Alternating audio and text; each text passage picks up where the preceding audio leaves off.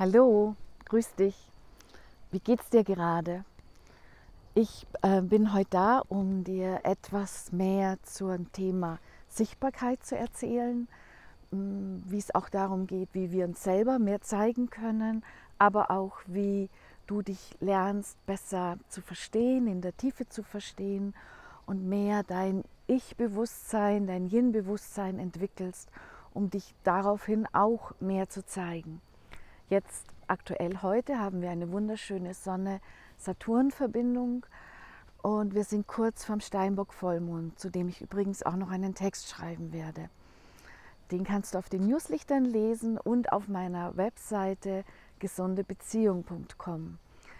Ähm, diese Steinbock-Saturn-Themen, das gehört zusammen. Saturn ist der Chef vom Steinbock, gehören zum Thema Sichtbarkeit und die sind immer wieder aktuell für uns. Das ist zwar jetzt aktueller, weil es durch die Impulse am Sternenhimmel spürbarer ist für dich, aber es ist generell ein Lebensthema.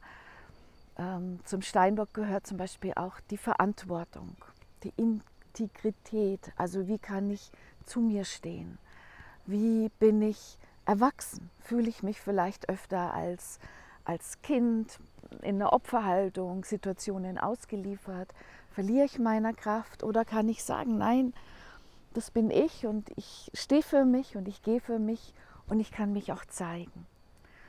Und dieses dich zeigen können oder diese Sichtbarkeit, die wir haben, hat natürlich auch ganz viel mit unserer Berufung zu tun. Berufung gehört auch zum Steinbock-Prinzip im Horoskop, wenn du dich ein bisschen mehr auskennst, gibt es da auch ein, einen MC und ein IC, ein zehntes Haus, wo der natürliche Herrscher wieder Steinbock und Saturn ist. Und diese Berufung ist auch etwas, wo wir aus uns heraus etwas leben können und geben können. Wo wir das Gefühl haben, okay, ich muss das unbedingt machen. So wie ich heute Morgen gespürt habe, jetzt packe ich mein Stativ wieder ein und mein Mikrofon und nehme dieses Video für dich auf. Ähm, da kommt so ein Ruf, er kommt von innen, von außen, du hörst es und du spürst auch, ich brenne dafür, ich möchte dafür gehen und ich möchte mich so zeigen. Wie geht es dir damit? Kannst du dich zeigen? Und wie fühlst du dich dabei? Kannst du da auch im Körper sein, im Körper bleiben, einfach ganz du selbst? Dieses, diese Sichtbarkeit, dieses sich zeigen können, ist in der Berufung auch sehr wichtig, aber es ist auch wichtig in Beziehungen, für, für sich selber einstehen zu können, zu, zu zeigen und zu sagen, ja, da, da bin ich, so bin ich. Und wenn wir aus Traumaprägungen kommen, wenn wir als Kinder nicht uns selbst spüren gelernt haben und uns selbst gut zu entwickeln und so zu entwickeln, wie wir sind, dann geben wir unser Ich-Bewusstsein auf und wir passen uns an. Wir passen uns allermeistens den Müttern, den Vätern, der Familie, den Umständen an, damit wir in dieser Familie bleiben können. Und die oberste Brio, die wir immer haben müssen, ist Bindung.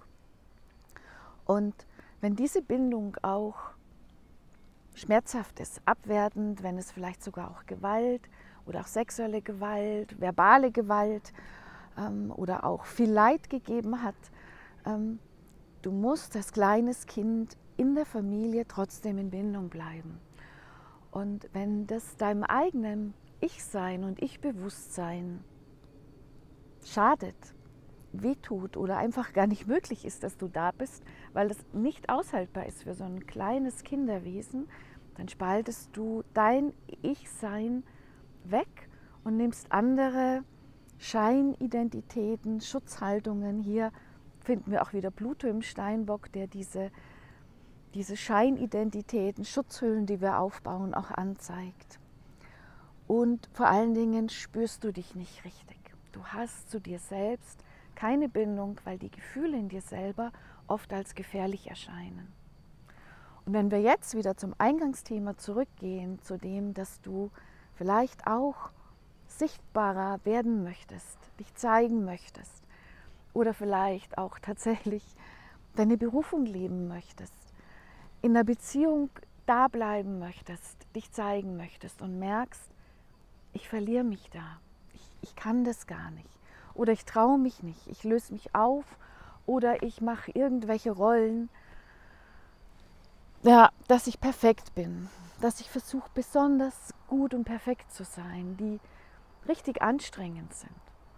Oder ich streite mich sehr viel rum, ich versuche sehr viel zu diskutieren, ähm, besser zu wissen.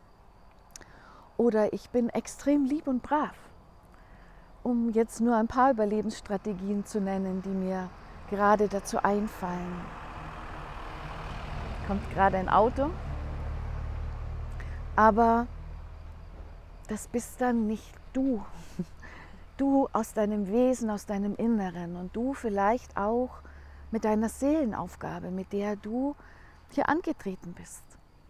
Und viele von uns haben sich wahrscheinlich, und wenn ich eben so ein Geburtshoroskop anschaue, von Anfang an sind da ja die Lernthemen, die Seelenaufgaben, die Entwicklungspotenziale genauso drin, aber auch unsere Verwundungen, das, was, was schwer ist für uns, was uns wehgetan hat.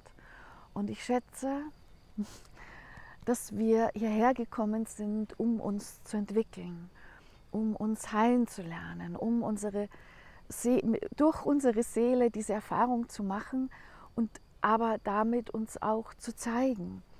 Und jetzt kommt auch ein, ein etwas sehr Jinnisches, ein Yin-Bewusstsein, das Weibliche, dass wir uns auch damit verbinden dass nicht jeder alleine vor sich hinwurschtelt und verzweifelt oder Scheinwelten aufbaut oder in irgendwelchen Netflix-Serien abtaucht, sondern dass wir uns zeigen, so wie ich auch heute, dass ich mich hier hinstelle und dir von meinen Lernerfahrungen, von meinen Heilungserfahrungen erzähle und dich auch dazu einlade, dass du mit mir ein paar Schritte mitgehst. Dieses Mitgehen, dieses Verbinden ist, ist weibliches Yin-Bewusstsein, was uns nährt, was uns gut tut. Und wenn du dich traust, auch tiefer mit dir selber, mit deinem Bewusstsein in, in der Tiefe, wie war es für mich als Kind? Was hat mich geprägt? Ähm, konnte ich mich zeigen? Oder war ich vielleicht sogar in Gefahr? Und ich nenne einfach jetzt auch mal noch mal kurz ein paar Gefahrensituationen. Achtung, es könnte auch ein Trigger für dich sein. Zum einen und gleichzeitig ist es natürlich auch sehr wertvoll, sich damit auseinanderzusetzen.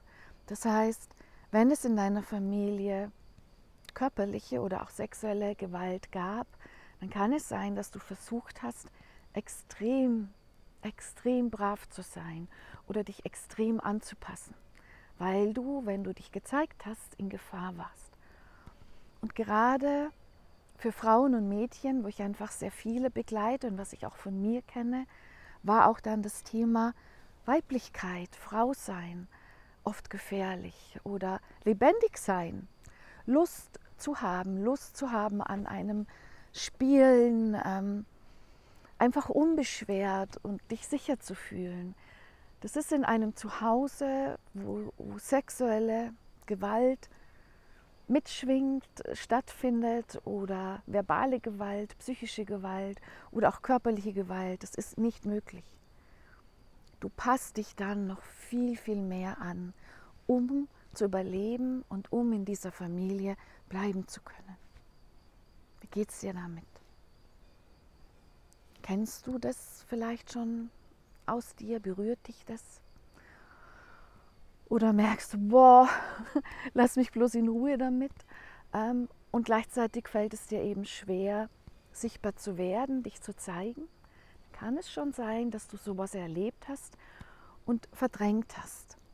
Es kann sein, ähm, viele der Frauen, die mit mir arbeiten und auch ich selber, habe bis zu meinem 40. Lebensjahr, bis zu meinem 41. Lebensjahr keine Erinnerungen gehabt an die sexuelle Gewalt. Ähm, ich habe von zwei verschiedenen Tätern zu Hause in der Familie ähm, von zwei Männern sexuelle Übergriffe und sexuelle Gewalt erlebt und ich hatte keine Erinnerung. Aber ich hatte extreme Platzangst. Geschlossene Räume, geschlossene Türen waren die Hölle für mich. Ich hatte extreme Schmerzen im Körper. Ich war sehr viel krank. Ich war psychisch oft aufgedreht und ich konnte mich nicht richtig zeigen in einer Gruppe. Damals gab es noch so Netzwerk, Frauentreffen, so Messen, mich von der Gruppe hinstellen und zu sprechen oder auch jetzt wie so von der Kamera. Und ich weiß, dass es, und ich hoffe und ich wünsche mir, dass es viele von euch anschauen und viele von euch dann auch vielleicht sogar weiterleiten, wenn sie sagen, es ist wertvoll für mich und es ist vielleicht auch wertvoll für jemand anders. Es wäre unmöglich gewesen. Mir wurde, ich hatte Panikattacken. Es ging nicht. Und dementsprechend war ich natürlich auch beruflich nicht so erfolgreich wie jetzt. Und auch nicht glücklich und nicht erfüllt. Und der Zugang zu meinem Ich, zu meinem Yin-Bewusstsein, der Zugang zu, zu mir selbst in der Tiefe, der hat einfach gefehlt, sicherheitshalber. Und all die letzten Jahre habe ich mir das zurückgeholt, erarbeitet und unglaublich gern nehme ich dich damit, ähm, wenn du auch wieder dich mit dir verbinden möchtest in der Tiefe. Wenn du dein Frau sein, dein Ich sein oder auch als Mann dein Mann sein, wenn du dich selbst einfach wirklich aus dir heraus dich erstmal heilen möchtest, verstehen möchtest, sehen möchtest und dann zeigen in der Welt. Weil jeder von uns ist mit einer Aufgabe gekommen. Und, und mit dieser Aufgabe, ähm, wenn wir sie finden und wenn wir sie verstehen und wenn wir jetzt wieder zurückgehen zu dem kindlichen Anteil, der damals extrem brav und angepasst war und das verstecken musste und auch alles verdrängt hat, wenn du mit diesem kindlichen Anteil in Verbindung kommst, von der heutigen Erwachsenen und so begleite ich dich zum Beispiel in meinen 1 zu 1 Sitzungen, aber auch in den Meditationen, wo du das einfach schon mal ausprobieren könntest für dich. Also ein Teil, unser Bewusstsein, das, ich spüre es auch oft am Rücken hinten, ist da und es bleibt da. Und dann gibt es meist verschiedene kindliche Anteile, die tragen den Schmerz, die tragen die Scham, die tragen die Angst in sich und auch die Erinnerungen. Auch über den Körper sind deine Erinnerungen da. Und so, und dazu werde ich ein extra Video nochmal aufnehmen, kannst du mit dir in Verbindung kommen. Und über diese Verbindung in dir und in deiner Tiefe, ähm, hier im Bauch und, und auch im Becken, wo du dann einfach in dir bist und da bist, da liegen auch deine Schätze begraben. Das sind Talente, da ist Liebe, da ist Freude, da ist einfach das Lebendigkeit, weil du dich auch über das gegenwärtige Ich-Bewusstsein und Yin-Bewusstsein sicher fühlen kannst. Und dann kann ein neues Leben beginnen, nach und nach. Und natürlich bist du dann nicht ein neuer Mensch und es ist alles weg, was jemals war. Aber Du hast eine andere innere Haltung. Hier sind wir wieder bei Steinbock, Saturn. Du hast die Haltung von Verantwortung, von Fürsorge, was zum Krebselement kommt, wo wir gerade die Sonne im Krebs haben. Du hast eine Haltung von, ich will heilen, ich will es gut machen für mich und für andere. Ich möchte in Verbindung kommen.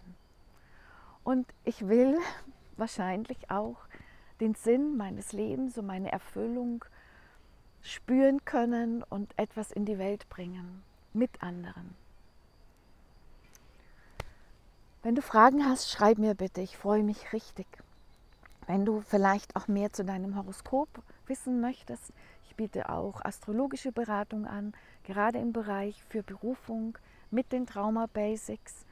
Die kannst du unten, sind die Links, buchen, auch über Elopage oder schreib mich an oder auch eins zu eins in der Traumaarbeit oder es gibt kleine Frauengruppen bei mir in, mit einem Healing Yin Day. Bist du herzlich eingeladen und ich freue mich. Ich freue mich sehr, wenn wir uns verbinden können und miteinander wachsen, entwickeln und jeder für sich heilt und dann zeigen kann. Alles Gute für dich. Für die.